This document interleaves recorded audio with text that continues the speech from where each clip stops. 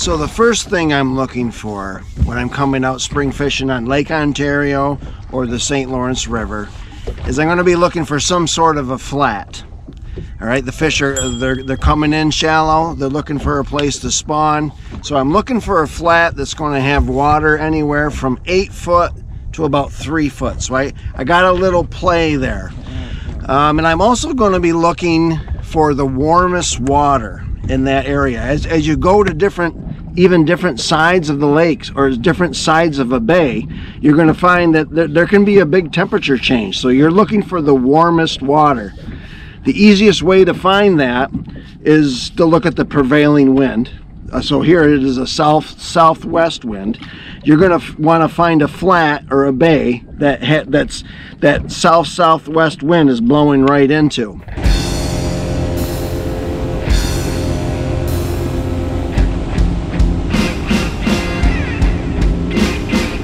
Next thing I'm thinking about is baits. So in the spring, here on Lake Ontario and the St. Lawrence River. In the spring, you're looking at bait fish, minnows, shad, whatever you want to call it. Okay, so that's uh, Senkos just aren't going to work. Anything wormy is not going to work this time of year. So you, you narrow, and crabs are not a factor here either. So it's it's it's shad, it's minnow-looking things. You're looking at jerk baits and swim baits. So what I'm going to start out with is a jerk bait. Got a nice little lip on this so I can get see that's going to bring me through that eight foot water column right through the middle of it. And if I, if I slow her down I can I can run this through four feet of water. Um, it does work. And it's looks like gobies which is which is a big a big uh, bait fish that we have up here. So I'm going to start out with that and it's great for covering water. I can make a really long cast with it. I'm going to cause a commotion in the water. It's going to draw attention just to let me know if there's fish in the area. Um, from there, I'm going to go with a quarter ounce swim. I'm going to because I'm in. I'm going to I'm going to start at that eight foot mark. I'm going to start deep, and I'm going to drift across that area of the flat. Then I'm going to move in right and hopefully get into the six to four foot and I'm going to go from four foot to three foot. So in that deeper water, I'm going to use a quarter ounce jig, right? And I'm going with a shad colored kind of thing with a with a decent sized paddle tail, right? And this is uh, about three and a half inches. That's about the average where you want to start, anywhere from three to four inches. You don't want to go super big. Um, if I don't get anything on that, I'm going to scale her down. Now I got an eighth ounce jig, right? And I got, again, look at that. That's a, that's a very, very minnow looking bait. And that's only a three incher, okay? Um, I'm going to go down to that if I don't get any bites. And then last but not least, I got this little bugger. And that actually is for perch and crappie, but it's a tiny little jig with a, and I can't explain that one. That's kind of my secret weapon. Um, this time of year, giant smallmouth bite that thing. I don't know why. But I've got that for that really shallow, you know, for that, eh, that's perfect for that three feet of water. Another key player in this the whole game here are, is a good pair of polarized glasses. This water is crystal clear, man. So even even as my my swim bait or my uh, my jerk bait, as I'm here we go, as I'm pulling it in, I'm looking for dark spots behind my bait. If I got foulers, again, I'm just trying to find out are there fish in the area, and it looks like there is.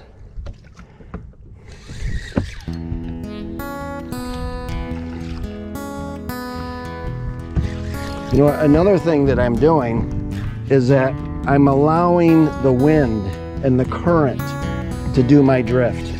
What, what's, what I'm doing when I do that is I'm kind of, I'm, I'm, I'm blending in with my surroundings. Sometimes when we're on that trolling motor, we're, we're moving a little faster than the elements are, or a little slower. So I'm allowing the wind, I'm, I'm getting in sync with my surroundings.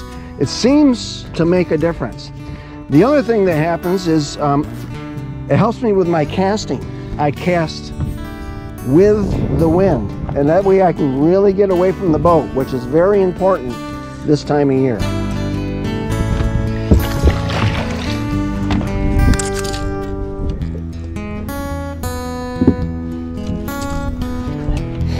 Look at that guy. Nice, big, fatty. Look at the colors on him, man. Beautiful, right? St. Lawrence River, Lake Ontario, that's a five pounder. All right, I found out from my jerk bait that there's fish in the area.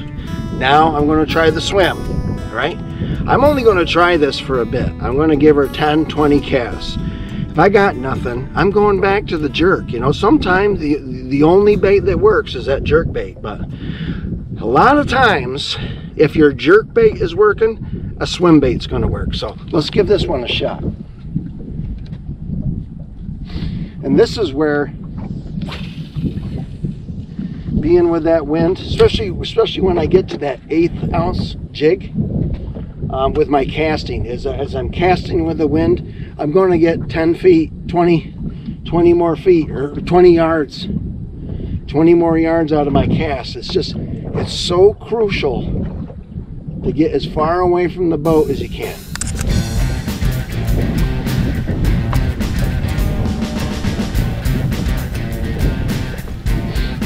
All right, quarter ounce is not working. Gonna jump to.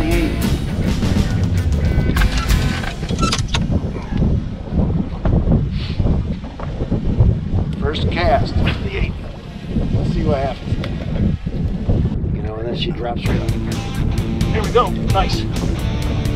Nice. That's this, this is the uh, the eighth ounce.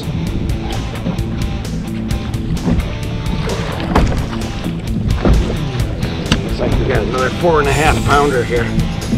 Uh, yep. Corner of the lip, which is nice.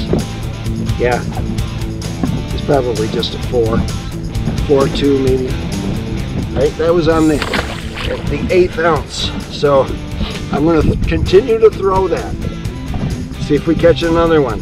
Uh, that was just one fish, and I, I've made made quite a few casts, so I'm not convinced. The only thing, the only pattern I'm finding so far is that it's deeper water.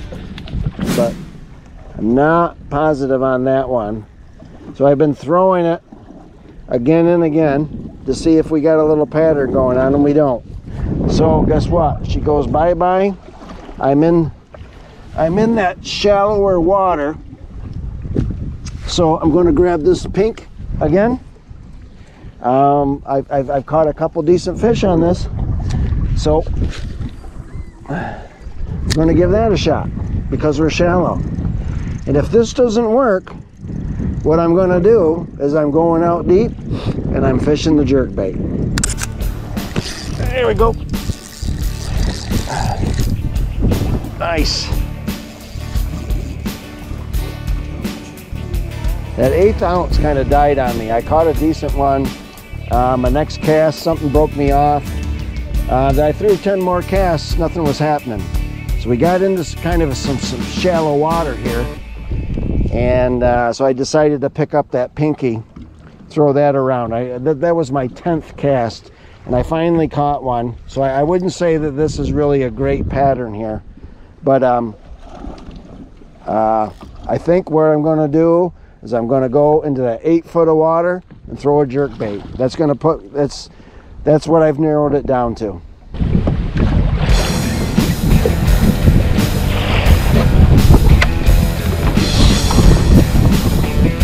decent fish. Nice. Not bad at all. Four pounder. Another four pounder. Pinky on the top of the lip. Look at him. It's fat, man. Nice.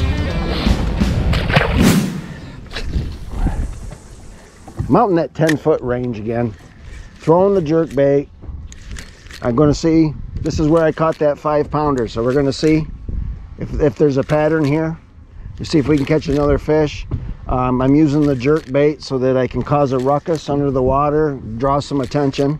I'm confident that if there's a fish in the area, they're gonna hit this bait. It just looks too good. Um, you know, and, and smallmouth tend to be very, uh, like a dominant predator fish. If they, if they see something smaller like this in their area, causing problems, they're gonna come and at least try to bully it if they're not going to eat it. So I, I'm just seeing what's going on here. I'm utilizing the wind, using that to my advantage and casting with the wind to try to get an extra 20 yards out of my cast, which makes a huge difference. There we go. You know, when you're fishing a jerk bait, it's very important to get away from the boat. Uh, it's crucial. So that extra, uh, you know, 20 yards makes a big difference. The other thing I'm doing is that I'm allowing, he's got one with him. So there's a couple of fish here. That's a good sign.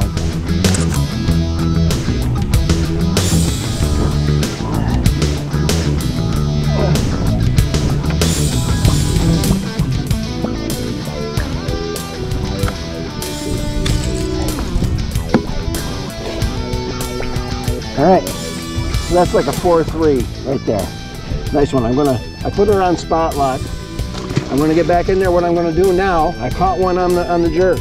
So I'm gonna try to figure out what's going on with the baits. I'm gonna try the uh, quarter ounce um, swim bait, and then I'm gonna try the eight and see what, see if they'll hit one here. I, I do believe that there's fish. I saw he had another one with him, so let's see if we can put something. We're seeing a pattern on the deeper water. Let's see if we can get a pattern on the baits.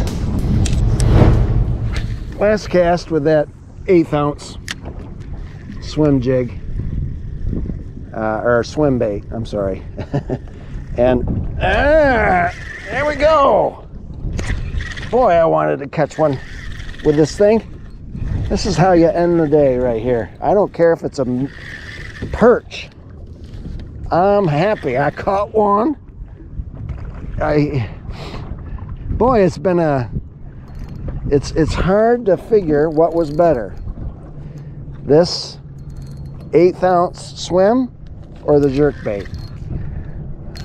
I think they're, they're kind of neck and neck, to be honest with you. If, if this is a pig, then I would say the swim. Ah, yeah, he's decent, man. Yeah, he's a giant. He's a giant. Uh, yep, this is a five and a half pounder. Look at him. That's on that eighth ounce swim, man. So the swim wins it for the day. That's beautiful, beautiful.